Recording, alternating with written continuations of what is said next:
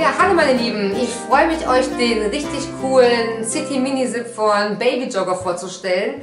Wir hatten den jetzt mit im Urlaub und äh, pünktlich, wirklich so drei Tage vor dem Urlaub, ist er hier eingetroffen von babyartikel.de und ähm, ihr müsst da unbedingt in den Online-Shop gehen, die haben echt tolle Sachen. Ähm, ja, und dann haben wir ihn mitgenommen auf unsere Kreuzfahrtreise und das war alles überhaupt kein Problem. Der ist so schön, so handlich und so klein zusammenzuklappen. Der wiegt fast nichts, irgendwie nur 6,5 oder 7,5 Kilo und ähm, ja, der hat ein ganz tolles Körbchen, hat einen riesen Sonnenverdeck mit 50 äh, Plus Protection. Lichtschutzfaktor und ähm, der Kleine konnte da mal wunderbar drin liegen, also man konnte das hinten komplett nach hinten ablegen, den, das Rückenteil und ähm, was auch echt praktisch war, ist immer dieses, dieser Getränkehalter gewesen. Und ja, ich liebe diesen Wagen total. Wir wurden auch wirklich ein paar Mal angesprochen ähm, von auch älteren Herrschaften, Mensch, was haben Sie denn da für einen Porsche? Und was ist das denn für ein Flitzer, so ein kleiner Ferrari. Und also wirklich viele Eltern haben uns auch darauf angesprochen, was habt ihr denn da für einen coolen Wagen, weil die haben gesehen, dass wir alle Ausflüge mitgemacht haben wir sind sogar in, ähm, teilweise haben wir Ausflüge gemacht, wo wir nicht an Land anlegen konnten, sondern wir haben ähm, im Hafen angelegt ähm, äh, und dann sind dann getendert worden, das heißt in Rettungsboote runter und dann ähm, an Land gebracht worden.